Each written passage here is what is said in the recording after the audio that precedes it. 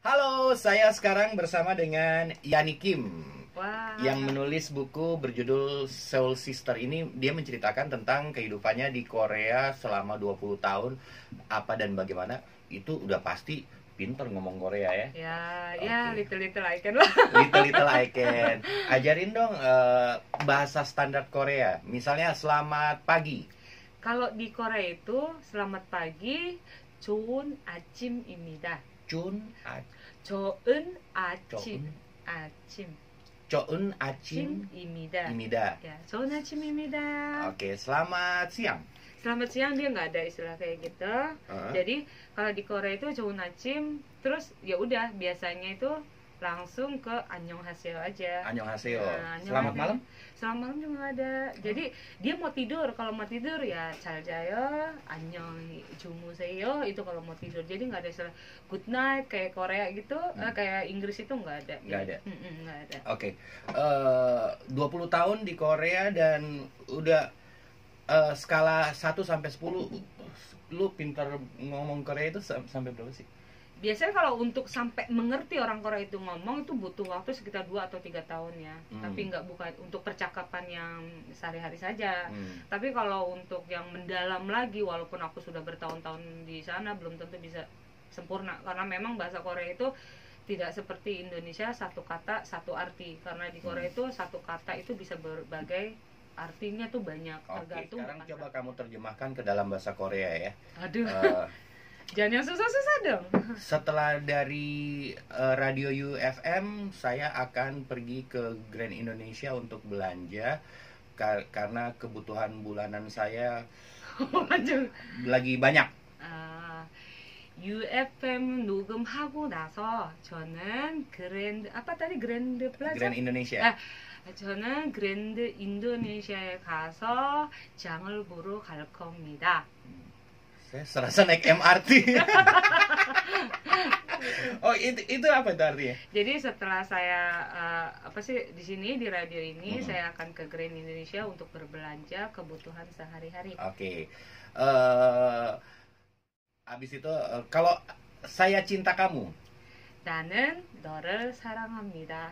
Danen, dore, Sarang, Sarang, Sarang tahun deh ingetin Sarang. Sarang Hamida. Ah, Sarang Hamida. Itu aku cinta kamu. Iya. Danen, Doreng, Sarang Hamida.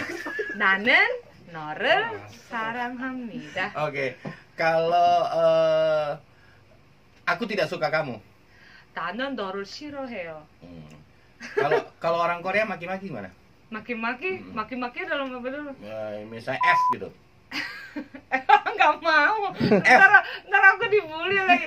Guys, Emang ada? Eh, eh, Ada, ada, Ya, ya udah nggak apa-apa. F itu apa? justru kalau kalau maki-makinya Korea lebih parah lo tau Oh, iya? artinya dari semua bi- binatang, Binatang juga ada hurufnya di ada. anatomi tubuh juga anatomi tubuh ada coba anatomi tubuh deh nggak mau aku aku nggak mau ngajarin yang kayak gini nggak mau karena kalau ngajarin jelek kayak itu lebih cepet pahamnya lebih cepet nangkepnya betul oh kan gitu kalau eh, kamu pemalas 아, 게으름이 너는 게으름입니다 게으름 게아 dia dia 게 게. berarti kamu kalau diputar lagu rap eh, lagu rap Korea gitu nangkep artinya kalau rap mm, susah soalnya dia tuh sebenarnya rap itu kayak Korea tapi sebenarnya campuran Inggris sama Korea loh hmm iya Iya. iya iya iya kira-kira kata-kata apa lagi apa kalau ngarep ngarep ngarep ngarep apa nih misalnya eh, gua gua suka sama cewek Mm-mm. terus ceweknya bilang ah lu ngarep dream on kayak gitu apa eh, artinya kalau ngarep entar dulu Hmm. 나는 그 여자를 원하다 menginginkan Panjang, kan 나는 그 여자를 원하다 saya menginginkan perempuan itu Uh. Nah. Eh, perempuan itu berapa berapa semalam Tapi perempuan itu tidak mau. quick quick gitu Jadi intinya kalau belajar bahasa Korea itu pinter ya, katanya eh, tiga tahun ya? ya untuk untuk mengerti lah Untuk mengerti tiga tahun. Mm. Eh, apakah dengan dengan nonton film terus eh, mendengarkan itu juga bisa? Bisa, justru ya kalau soalnya kan kalau mau belajar bahasa negara orang itu kita harus punya penyemangat ya. Penyemangat itu dari mana? Entah dari pacar orang Korea atau dia suka drama atau suka lagu. Hmm. dari lah kalau aku dulu memang sih karena udah punya basic kerja di Korea ya waktu itu. Jadi untuk memperlancarnya itu aku lihat aku suka ke karaoke. Hmm. aku untuk belajar baca cepet Oh, Nah, karena oke. eh, hanggelnya itu kan terlalu susah ya kalau itu Iya. pelan-pelan jadi untuk belajar cepetnya itu aku lihat di subtitle eh bukan subtitle sih kayak tulisannya itu lah itu. iya Emang Oh, ini. kalau eh, kalau Jepang kan huruf kanji. iya ya Kalau itu huruf apa namanya? hangul Hangul. hangul Hmm. jadi ada dua ada hangul ada hanca kalau hanca itu udah kanca eh, kancanya hanya kanjinya Cina Oh, Cina. iya Jadi iya. kalau mau pinter perfect bahasa Korea dia harus belajar hancanya dulu karena satu bahasa eh, satu kata bisa berbagai macam arti itu karena dari Hanca itu sendiri. Oke, ya sudah kalau gitu. Uh, pamitan dengan pamitan yang panjang gimana? Kita pamitan sekarang. De uh, Jonan eh, Ini apa sih namanya? UF UIF? Apa? Ah, uh, UFM. UFM. UFM. UFM. Jadi UFM radio. Cucanya eh, 초대해 주셔서 너무 감사하고요. 다음에 또 시간, 미안하다. 시간 되면. 다시 저를 초대해 주시면 감사하겠습니다. 수- 감사합니다. 나는 수- 너를 수- 사랑합니다.